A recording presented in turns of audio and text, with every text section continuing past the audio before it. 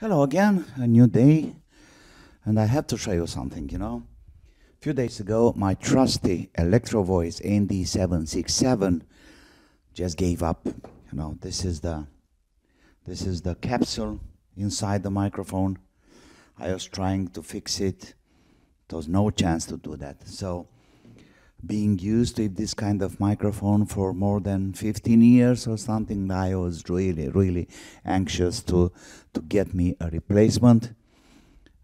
And uh, I can say that with a very good price, I found something even better. So this is an Electro Voice RE2 receiver with a TU uh, handheld transmitter with ND676 in my case.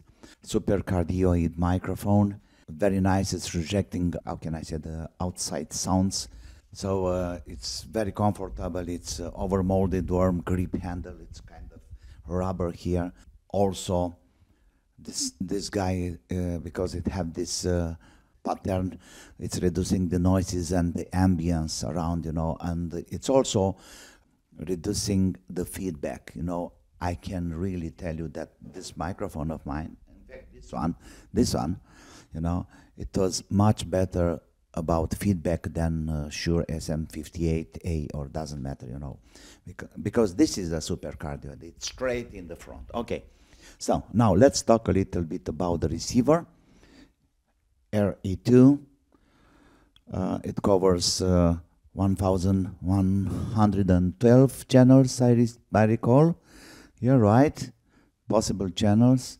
It have a synthesized uh, PLL receiver with two antennas. Let me show you. We got two antennas right here. That's a true diversity. And also we have an XLR output and uh, a line output too with um, potentiometer here to have different uh, gains.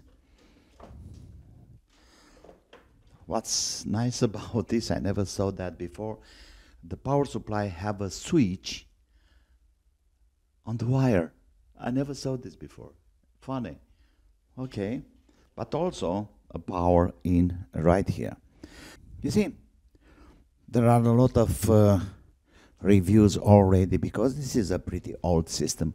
I believe it's back in 2010 or something. Tell me what I want to do as long as we have a battery already, a pretty good battery in fact.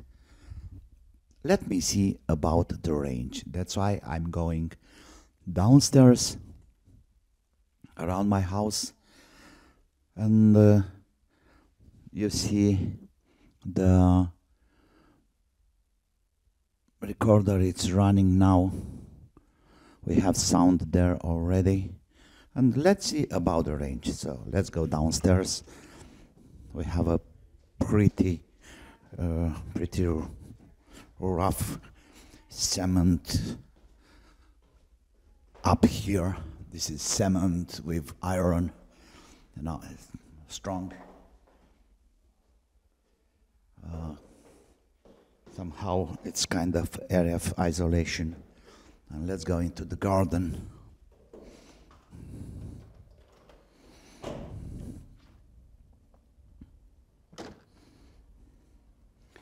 Here we are, okay.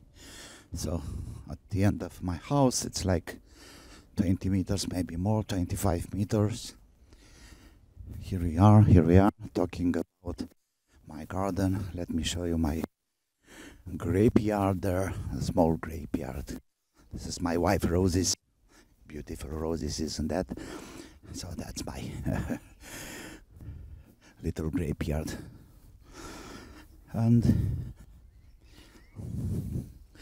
we are maybe like 30 more 40 meters or something downstairs in the courtyard I'm really curious if the microphone could hold this uh, distance, could manage to have a kind of uh, transmission, reception, or something.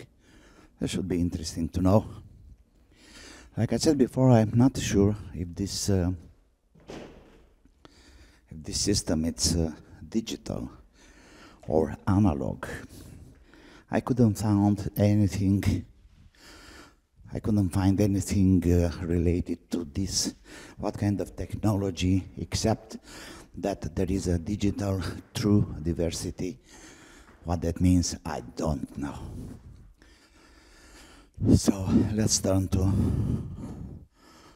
practice things more than talking technology or whatever.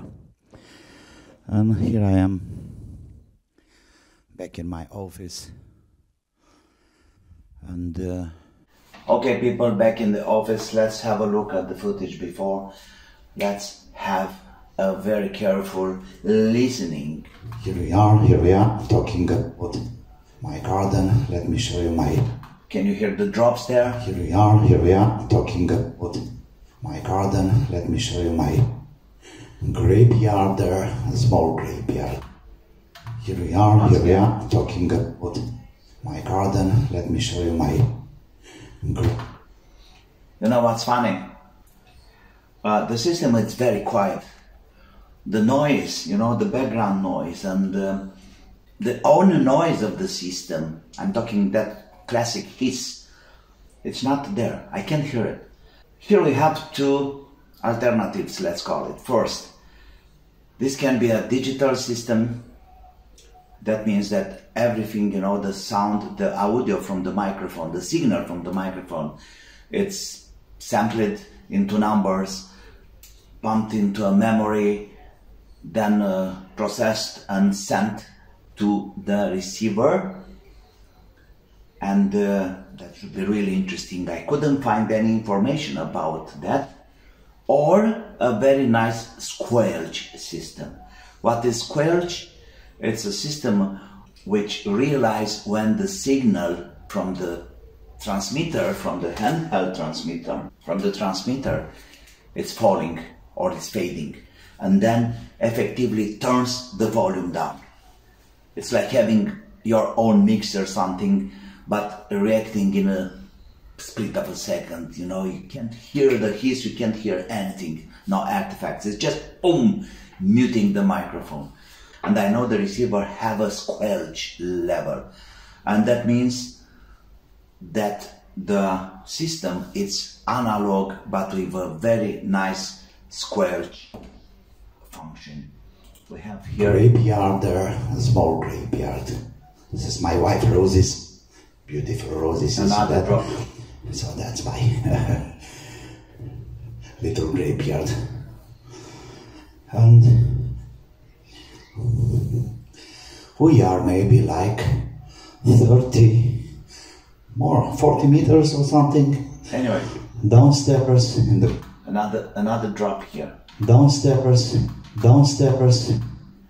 Okay. Downstep, downsteppers in the you microphone. Can't, you can't even notice that. Anyway, I wish to know your opinion about is this a digital system or it's a analog? Very well done. Being an analog, maybe this explains the range. And what I was trying to do, in fact, is to replace this uh, broken capsule into my uh, stage microphone. So I don't know. Now I'm, I'm in doubt of uh, this beautiful set you know it's working it's it's great we'll uh, we'll see about the quality of the sound after i'm doing all this video putting together uh, everything and i'm gonna use the sound recorded by my uh, recorder software here okay well i hope it's interesting and uh, See you soon. Enjoy the summer, beautiful weather. And uh, like always, you know, if you like this, please subscribe, please like, and uh, most of all, have fun. Bye bye.